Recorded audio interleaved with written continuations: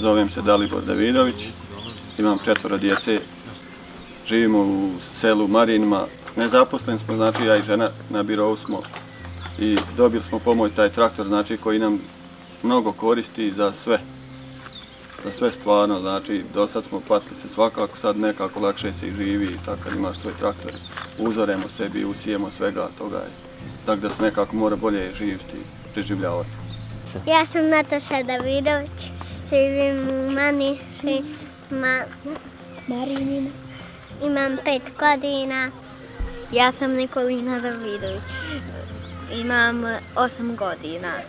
Ja sam drugi razred osnovne škole, Petar Škundrić. Ja sam Dajana Vidović, prvi sam razred, živim u Marinima, imam kravu, imam kokoš, imam dva pašteta, imam svinju, imam pačiće i pilće i tučiće. Kad je, mačka će ući pa je pojesti. Ne. Još pojesti mi pilće.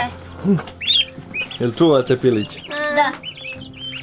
A uveče je od, odnesemo u kuću pa onda u- ujutru i opet vratimo i tako. Imam jednu kravu, dva čunka. Imam nekoliko baši, tri baše. Koliko ti? Imam pa se naša maca.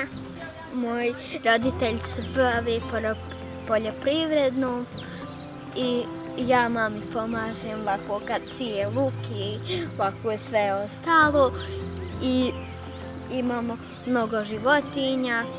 Ja najviše volim e, da oko kravi radim i oko svinja.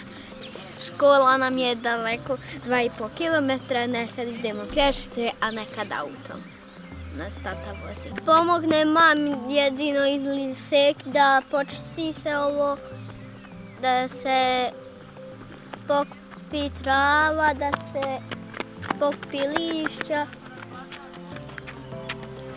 da se zategne krevet i tako dalje. Ja ću ga koristiti, voziti ga kad treba ga pomjerati. A ja i tata um, pomalo, ja vozim traktor pa pomalo pa zajedno. Uh, Ja se zove traktor setar, a ovo je 16 i ovo se ovdje okreće kad se upali i ovo sasvim neko ulje. Tako, ovo kad se puši, Ovdje ide nafta, ovdje, ovdje je svirena. A ovo su satovi, ovo je su ključevi. Ovo je ključ. A vamo ovo ovo je je- ključ od a ovo su kočnice, ovo smjenjač. Vamo Ovo je ovo Mjenjača. Ovo su kočnice, ovo je mali mjenjačić.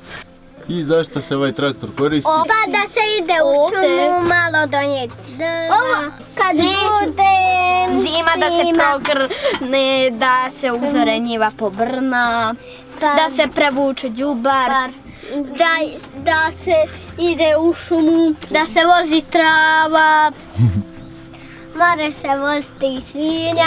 ima- drva u prikolci.